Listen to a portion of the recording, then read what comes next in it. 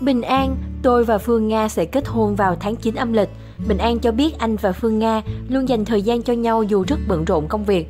Anh chia sẻ sẽ kết hôn vào tháng 9 âm lịch nhưng chưa biết năm nào.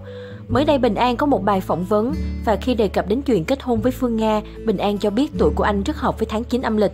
Nếu không có gì thay đổi thì tháng 9 âm, anh và Phương Nga sẽ lên xe hoa, nhưng năm nào thì chưa biết. Nhận xét về chuyện tình cảm, Bình An tự nhận mình là một người rất lãng mạn, đôi khi là xến sẩm. Tuy nhiên, anh lại cảm thấy vui vì muốn làm những điều đặc biệt cho bạn gái. Anh thích tạo ra những dịp đặc biệt hay những cột mốc đáng nhớ khi cả hai cùng nhau làm được một điều gì đó. Ví dụ như kỷ niệm một tháng một lần hay một năm một lần, đó là những điều anh luôn coi trọng trong tình yêu.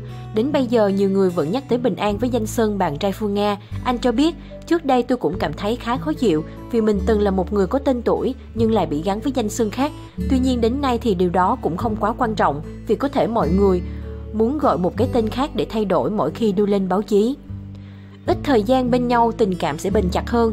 Bình An quyết định Nam Tiến để phát triển sự nghiệp diễn xuất của bản thân. Anh cho biết vào thành phố để tìm kiếm những cơ hội mới và thử sức bản thân. Nam diễn viên cảm thấy môi trường trong Sài Gòn hợp hơn cho nghệ thuật và nó cũng tăng thêm tính cạnh tranh của mỗi nghệ sĩ. Nói về quyết định nam tiến của mình, Bình An cho biết Phương Nga cảm thấy hơi buồn về chuyện này. Mặc dù trước đây ở gần, nhưng mỗi người cũng bận rộn với công việc riêng nên cũng ít có thời gian gặp nhau. Trong khi bây giờ cả hai xa nhau thì thời gian ở bên nhau cũng chắc chắn sẽ khó hơn trước. Thời gian trước khi tôi vẫn ở ngoài Hà Nội có những hôm đi quay muộn đến 11-12 giờ đêm mới về, tôi vẫn cố gắng qua gặp để ôm Phương Nga một cái thật lâu rồi mới về nhà.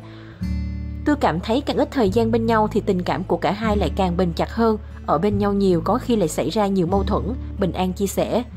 Chúng tôi có sự tin tưởng nên ít khi nghi ngờ nhau. Kể từ khi công khai mối quan hệ trước truyền thông, Bình An và Phương Nga cảm thấy thoải mái và vui hơn vì sẽ không còn bị soi mói hay để ý này kia. Cả hai cũng sẽ không phải lén lút hẹn hò mà có thể thoải mái như các bao cặp đôi khác. Hơn nữa cặp đôi cũng muốn khẳng định về mối quan hệ nghiêm túc của cả hai. Phương Nga có vui vẻ, đăng hình cùng Đỗ Mỹ Linh đáp trả về tin đồn Hoa hậu Việt Nam 2016 ở chung phòng với Bình An tại cuộc đua kỳ thú. Nói về thái độ này của bạn gái Bình An chia sẻ. Thực chất Phương Nga cũng là người có gan yêu nhau mà không gan thì không thể gọi là tình yêu. Tuy nhiên Đỗ Mỹ Linh là một người quá thân thiết với Phương Nga nên cô ấy hoàn toàn không hề có sự nghi ngờ. Hơn nữa hai chúng tôi dành cho nhau sự tin tưởng khá tốt nên ít khi có việc nghi ngờ nhau. Có thể thấy tình cảm của Bình An và Phương Nga dành cho nhau vô cùng dễ thương và mãnh liệt. Không chỉ thế, họ còn tôn trọng và thông cảm cho nhau trong công việc. Hy vọng với tình cảm dành cho nhau ở thời điểm hiện tại, cả hai sẽ sớm về chung một nhà như bao nhiêu người mong chờ.